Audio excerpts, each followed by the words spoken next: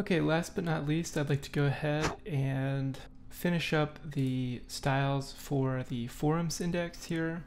And so that should be a pretty straightforward task. So we'll go ahead and implement it.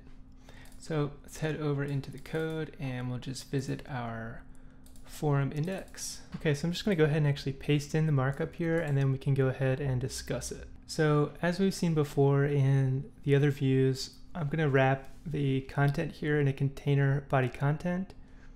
And as I've mentioned in the past, perhaps we should have this as part of our template. In any case, the first row here will be our section header. And so as, as we've seen also before, we'll have the section heading and then below it the section description. Um, another thing to think about here is to start breaking out our views into partials and taking these sections that we reuse over and over again and just have them get dynamically generated. Um, but I'll leave that as an exercise for future front-end refactoring. And so we have this sort of welcome message here, talking about how posts are categorized into different forms by topic. And then we have a message like, please read the forum guidelines if you'd like to create those um, before creating a new post. And then we say if the user is not authenticated, then, um, and in fact we can shorten this just to user, um, then they must be a registered member to create a new post and we can just create a link over to the register action on our account controller to do that. Okay, so that's the top row. And then we have the sort of um, main content row here with a table and then here's our for each forum in the model.forum list and then and then we just have rows with data cells in them with these different divs to kind of contain um, some standard stuff here um, and in fact let's go ahead and get rid of this background size 100% because that is now in our CSS and you can see that I'm adding some new properties here um, so number of posts number of users and recent posts to this table and so let's go ahead and add those to our view model and have our controller pass those values down to our view. So I'm just going to stop the server and then we'll go into our forum models. And so our forum listing model will now have some new properties on it. So I can specify like a public int number of posts.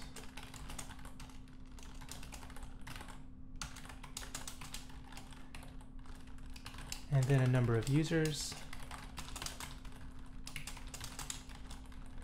and then this bool for has recent post. And so if we head back down to the forum index now, we should see that these properties can now be evaluated. And so let's assign them in the controller. So we'll head over into the controllers and the forum controller. And then I'll scroll down here to the index. And here where we're using the forum service to select our forums into this forum listing model, let's go ahead and set some more properties. So number of posts can be forum.posts.count. And what I'm going to do here is simply um, check to see if post is null. And if it is, then we will say zero here um, if it's not, then we'll get to call count and actually put a count out to uh, the page. Um, but it is possible for a new forum to simply not have any posts. And so if post is for some reason null, then we don't want to call count or anything else on it. And then number of users, what I'm going to do is use forum service here to actually get active users. And so this will be a new method, um, which will simply pass the forum ID, and then we can call count on.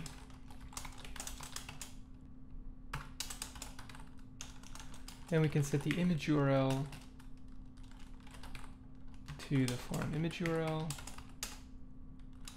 and has recent post. We'll go ahead and use the forum service to write a method that's going to determine whether or not we consider the forum to have a recent post. Then what I'd like to do is in our forum list, when we return it, let's go ahead and order this as well. So we can order this by like the forum name if we like. So let's go ahead and write our get active users and has recent post methods on our IForum interface. So we'll control period here to generate the method. And I'll control period here to generate this method as well. And then if we head up into IForum, we should see these new methods here, except that get active users will be a collection. So an IEnumerable of application user. Uh, and I see that we had started something where we said get all active users. Um, let's go ahead and remove that from this interface because I don't think it belongs here. Um, and we'll, yeah, we'll specifically be talking about the active users for a particular forum ID. So then we'll head into our forum service. And we'll go ahead and make sure that we implement the interface. And so we'll fill out our get active users method first. So we'll come in here And what we're going to do is basically combine the distinct set of users from all of the posts and replies within this forum. So we can save our posts is equal to, we can say get by ID, ID, so this gets us this forum, and we can grab the post from that forum, and we can select the post user from each of those posts. Um, so in fact, I want to kind of break this up a little bit. So then we can say var post users is equal to posts, and we'll select them. And then we'll say reply users is equal to post. Uh, and here, sorry, we actually need to select many to flatten this. So now we have the replies, and from the replies we can select the reply user. And so in both cases here we have a collection of application users, um, in one case coming from the posts and the other coming from the replies from those posts. And so now what I'm going to say is users is equal to post users dot union reply users dot distinct. And in fact, we can just return that value.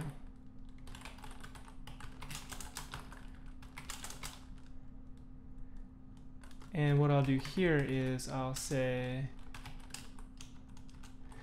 if posts is not equal to null or it's the case that there aren't any posts, then we'll go ahead and return the union of all the users on the posts and the replies. Otherwise, let's just return an empty list of application user, which we could just call that .count on if it's empty and it'll be zero. So that should take care of our get active users method. And then if we scroll down, we have another new method. Well, we can get rid of this, which is the old get all active users method and we have this new boolean has recent post. And so what I'm going to do is just allow us to define like a constant that we want to set in terms of what we would consider recent. Let's say hours ago is equal to like 12. And then we have some window, which can be like datetime.now dot add hours. And then we can do minus hours ago. So this gets us a datetime some number of hours ago into the past. And then we can return get by ID, the forum ID dot post dot any, and we can check to see that the post created on was created greater than or equal to our window. Or it doesn't really matter, we could just do greater than our window. Okay, so that's just one way to determine whether or not, you know, a post is recent. Of course, this is subjective. You, you may decide to have some other logic to determine what a recent post is for your application. Okay, so let's go ahead and start the application and take a look. So if we click on forums, so now we're getting a slightly nicer looking index here. We can also see that we're getting a number of posts and a number of users out to um, the page here, and we have this rather nondescript hot tag here under Haskell, which we just posted a, um, a new post to. So let's give that some styling to kind of make it um, stick out a little bit. If we inspect this element, we can see that we've given this div the class has recent post. So I'm just going to head over into our CSS now, and we can go ahead and create that. So let's give it some padding of like two pixels and a background color of like like a reddish color. And in fact um, you can use Visual Studio to select a color here. So we'll make it kind of like this reddish orange maybe and we'll set the font color to white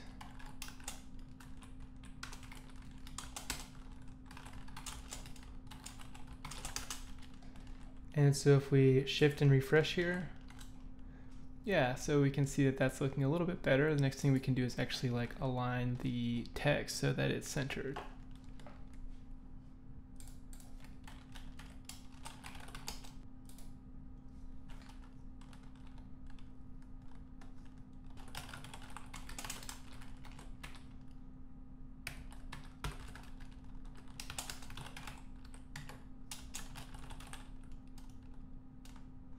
And maybe just apply a tiny bit of border radius.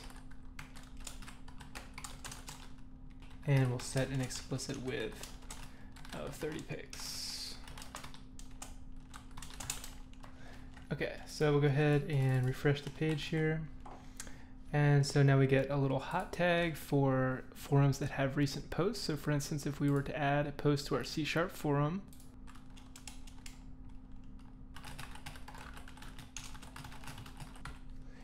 so we'll submit the post and we'll head back to our forums and now we can see the hot label is posted on C Sharp as well. So just like a nice extra little feature that we have. Okay, so that just about wraps up the features for our application.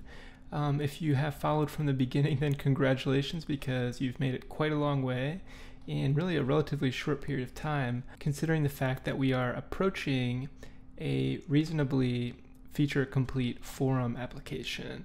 Now there are a few more things I'd like to do. I'd like to go ahead and authorize routes on several of the routes that we have so that authenticated users and users who are admins can only hit the only hit the uh, controller actions that we'd like to authorize them for. And then we will get into looking at how to start writing some tests to try to cover some of the code in this application. And we won't get too much into detail in the test. In other words, we won't, won't write tests for everything and get complete code coverage by any means. But I'd like to show you so that you could actually carry that much further than we will here in this series. But I would like to go through and show you how to start writing tests, particularly for some of the methods in our service layer. So with that, let's go ahead and add authorization to those routes and then we'll get started testing. So let's go ahead and make a commit as well here, which is long overdue.